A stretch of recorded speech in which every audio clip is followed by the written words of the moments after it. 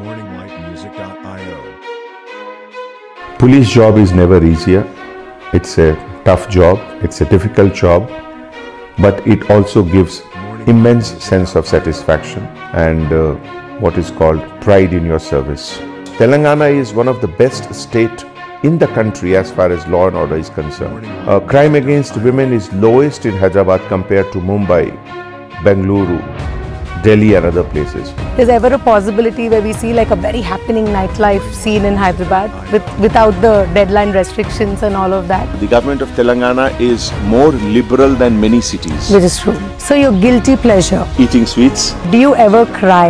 And if I, if I say that I have never cried in my life, that would not Yeah. be true. Hello, I am Anjani Kumar, Commissioner of Police Hyderabad. You are watching me on hashtag magazine.